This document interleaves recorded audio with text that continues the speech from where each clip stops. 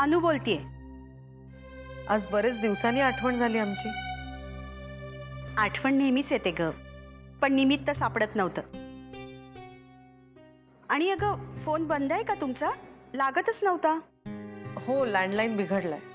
पावसाळा दुसरं काय? पण तरी तू मोबाईलवर फोन केलास म्हणजे नक्कीच काहीतरी कारण असणार. हो ना? हो आहे ना.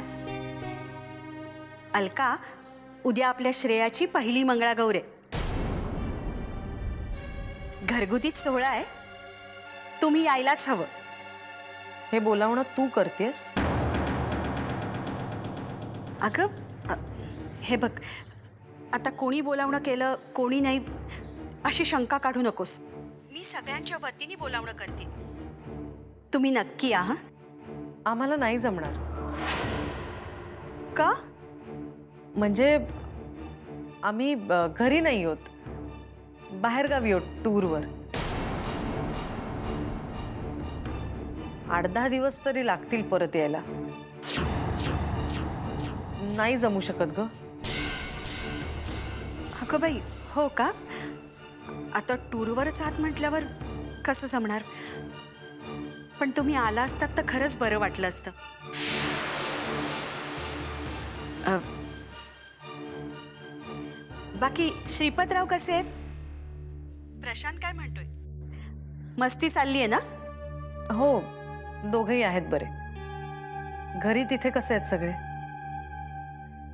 बरे आहेत सगळे. चाललंय. बर ठेवू फोन? अधूनमधून घरी येत जा ग. हो जमेल तेव्हा येईन नक्की. ठेवते. बर.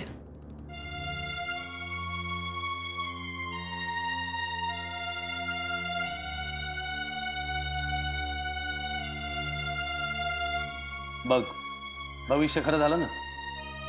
आपटेष्टांचा फोन आलाच ना? पण तू त्यांना खोटं का सांगितलं आपण टूरवर गेलोय म्हणून? कारण त्यांनी श्रेयाच्या मंगळागौरीसाठी घरी यायचं आमंत्रण दिलं होतं. आणि ज्या घरात तुझा अपमान झालाय त्या घरात मंगळागौरीसाठीच काय? कशासाठी जायची माझी इच्छा नव्हती. आणि खरं कारण सांगून त्यांच्या आनंदाला गालबोटही लावायचं नव्हतं.